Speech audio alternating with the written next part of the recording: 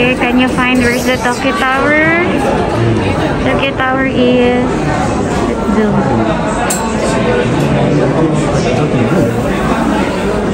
Tokyo Tower. So sa gabi guys, pumunta naman kami sa Tokyo Tower para makita yung Sky Tree. So ayan yung Sky Tree. So before we proceed, I'm gonna do my intro muna. See you later!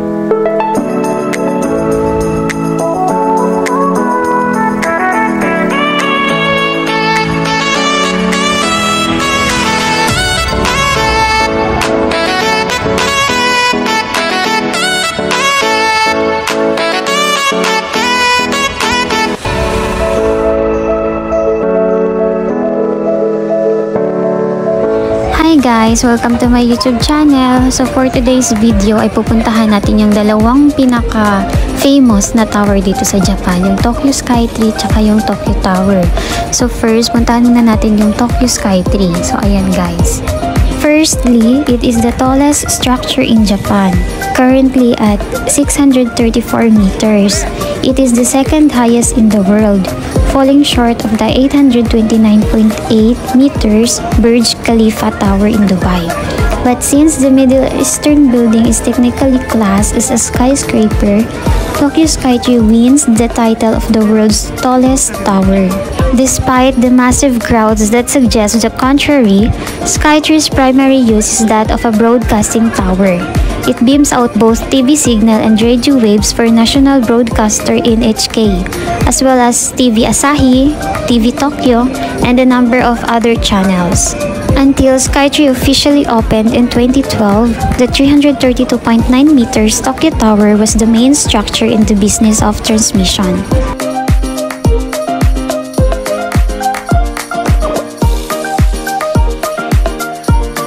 So guys, now let's go inside the Tokyo Skytree. So this is the main entrance. So this is the first floor of the Tokyo Skytree. So this is where the ticket counter located and the Skytree shop. So ayan.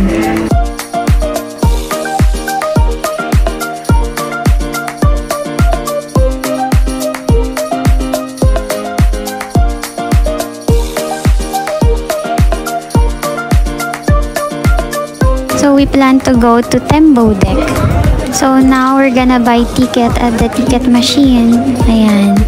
So you can choose time on what time you want to go up. So the ticket price guys differs on which deck you want to go, the Tembo deck or the Tembo Galleria. The Tembo deck is 350 meters and the Tembo Galleria is 450 meters which is more expensive. So this is the Tembo deck ticket price. So for 18 years old and over, it is 2,300 yen. For 12 to 17 years old, 1,650 yen and 6 to 11 years old, it is 1,000 yen. The Tembo deck at 350 meters, this gives you an awesome view over the city and all the way to Mount Fuji on clear days. So going up to the main deck, you can only use these powerful elevators that would go against gravity. And it should be done not only at high speeds but also without dizziness or any other hassles. The Skytree is equipped with four high-speed Toshiba elevators. Each of these elevators has a capacity of 40 persons and speed of 600 meters per minute. So now we're at the Tembo deck already. So this is what you see. When there are many people here, it is difficult to find a place to see the view. But sometimes, the other Japanese, when they see you, they leave their place and give you space to see the view. So ayan guys, enjoying the panoramic view of the biggest city in the world. So we only stayed here at daylight because at night we plan to go to Tokyo Tower. But here every day from 5.30 p.m. until 12 a.m., almost 2,000 LED lights illuminate Tokyo Skytree. So in addition, the annual event includes illuminations that brightly light up the tower in various colors based on the season and different themes. For example, during the Christmas season, the tower shows various displays of warm, enchanting lights. So you can check the full lighting schedule at the official Tokyo Tower website. If you want to explore the tower and surroundings, visit Tokyo Solamachi, a huge shopping complex located on the lower floors of the Tokyo Skytree. So it has over 300 shops and restaurants, offering a large collection of products and great dishes. There are lots of fun things to do at the iconic tower other than just going up and enjoying the view. Do you know guys how did the tower get its name? So the name of Sky Tree came from the image of a massive tree that points toward the skies. So it was decided by the public in 2008 alongside other prominent suggestions including Rising Tower, Dream Tower, and Edo Tower.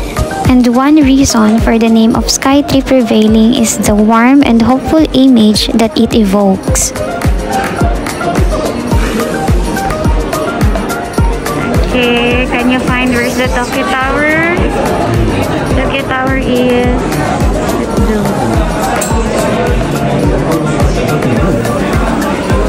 Tokyo Tower. This one, right? Tokyo Tower. Oh. This one is the Tokyo Tower, right?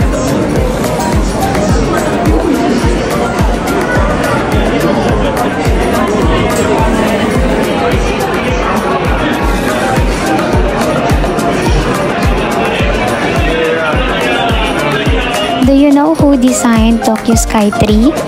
So Tokyo Sky Tree was designed by the sculptor Mr. Kiichi Sumikawa. The tower was created with a very Japanese-like shape in mind, as it is inspired by the curve of a Japanese sword and the rise of the pillars typically found at shrines and temples. And what do the changing colors and nightly light up mean? So, the Tokyo Sky Tree Tower's blue lights represent the chic and trend-setting spirit of Edo, and the royal purple hints at Edo's elegance and grace. At the same time, the orange colors evoke the image of a special flag called Nobori. So these are the three primary color patterns, but during special periods such as Christmas and cherry blossom season, Tokyo Sky Tree also tends to shine in entirely different colors. And why is the Sky Tree so tall? So with a whooping height of 634 meters, the Tokyo Sky Tree was recognized as the world's tallest tower by Guinness World Records on November 11, 2011. To return to the ground, you'll have to go to floor 345 where you'll be taken down again. But before that, make sure to take another elevator to go to floor 340. A real thrill awaits here. Look all the way to the ground through the glass floor to realize just how high in the air you are. So that's scary. So we're on the ground now. I had so much fun enjoying the panoramic view of the Tokyo Sky Tree. So next we're gonna go to the Tokyo Tower. So we went here at night guys because it is especially pretty at night when it is illuminated. Look how beautiful it is. So the Tokyo Tower same also with the Tokyo Sky Tree. The colors on the tower lighting change according to the season. So what time does Tokyo Tower lights turn off? Generally, the lights switch off at 12 a.m. You know guys, there is a legend that if you see the moment that lights turn off with your lover, you will become happy together. And many couples gather below around midnight to gaze up at Tokyo Tower. You know guys, the Tokyo Tower was built in post-war Japan as an observation and transmission tower. Still attracts many visitors by itself. Its unique location in the center of the city, proximity to the hip area of Roppongi Hills, and the beautiful illumination in the evenings make it an important tourist spot.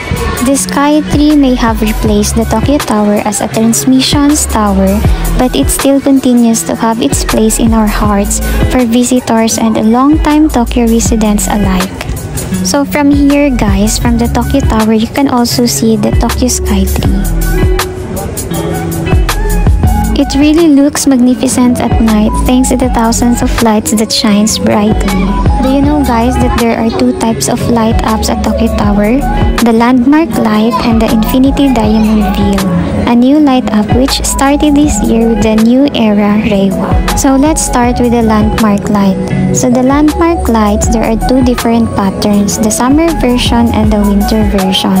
In the summer version, it is silver lights called metal halide lamps. And in the winter, lights called high pressure sodium lamps with a warm orange tone are used. And next is the Infinity Diamond Veil. So it is a new light up for the Reiwa era.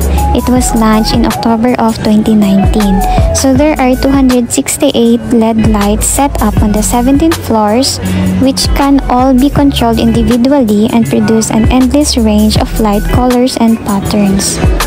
Diamond Veil lights up on Monday every week in 12 different colors depending on the month.